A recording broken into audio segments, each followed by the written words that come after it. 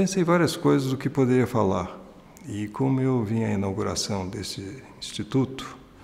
eu optei por uh, centrar o meu, a minha impressão quase como um sentido de celebração, o que, a meu ver, seria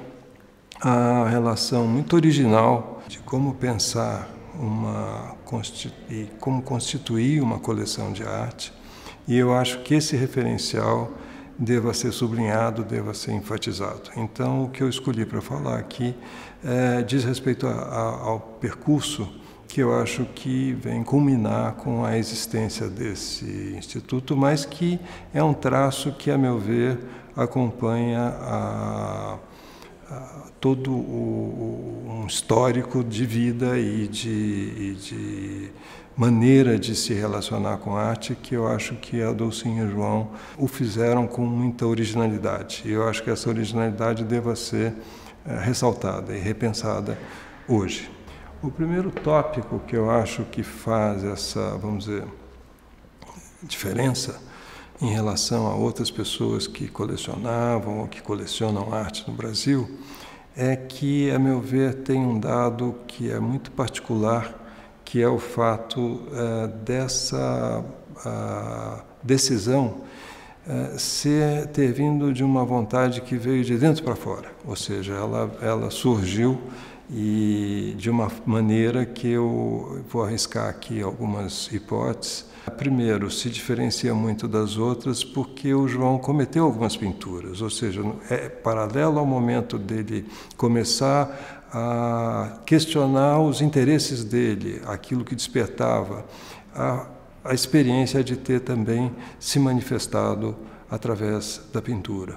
E eu acho que enriquecido com o diálogo que a, acho que inicialmente foi a subdistrito, que eu acho que aonde aparecia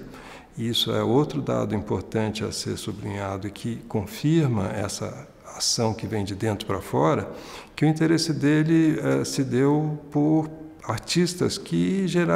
da mesma geração, enfim, artistas que também estavam naquele momento passando a se apresentar, passando a acontecer. E é os primeiras, vamos dizer, aquisições que vão constituir essa essa uh, essa coleção, que eu acho que mantém essa vivacidade pelo interesse que vem de dentro. Eu comparo isso a outras atitudes de colecionar e acho que faço um, um, contraponto na exposição que é preciso ser visto, que são as outras atitudes em relação a colecionar arte no Brasil. Né? A mais antiga é aquela de colecionar figurinha,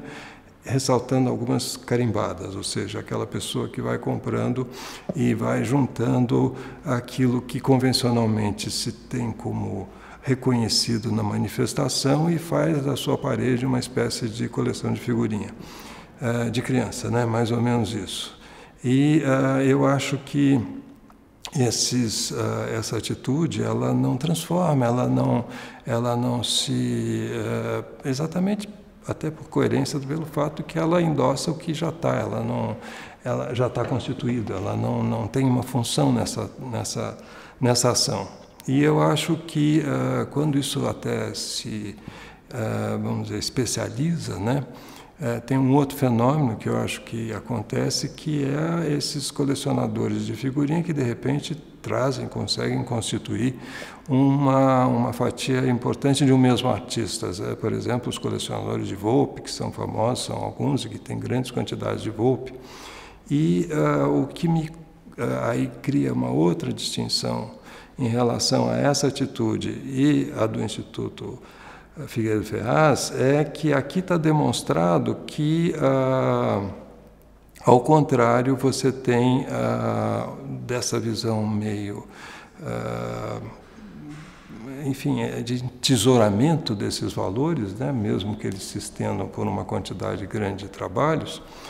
há pouca vocação ah, para fora, ou seja, de se exteriorizar. Ou seja, da mesma forma que eu acho que a coleção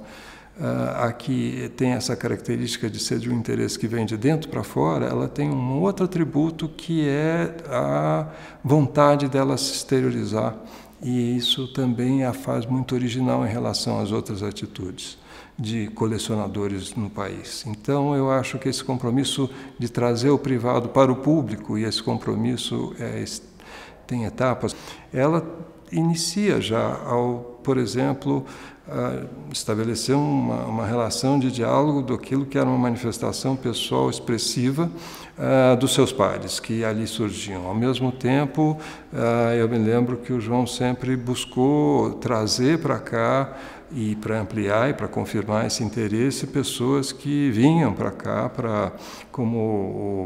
o Alberto Tassinari, como o Rodrigo Naves, como o Nuno Ramos que além de artista, é, enfim, tem uma uma vocação, vamos dizer assim, crítica e teórica grande, enfim. Então acho que isso faz parte de uma um interesse que vem de dentro, mas que uh, se afirmava ao intervir na cidade. Então, aqui, uh, o que se constata é que há esse movimento e esse compromisso com a questão pública, que vem culminar com essa realização que é o Instituto, mas que eu acho que não é, é, é o final de um processo, mas que foi presente desde a origem desse trabalho. Eu uh, procuro, de alguma maneira, uh, os diferenciais, né? Quer dizer, eu acho que tem esse colecionador de figurinha, tem hoje o investidor, é aquele cara que é, pensa a compra e a venda de arte como especulação, uma coisa que é um negócio, que naturalmente não tem possibilidade de se vincular ao a, fixação de nada, porque a lógica dele é a, é a transformação daquilo rapidamente em, em negócio, né?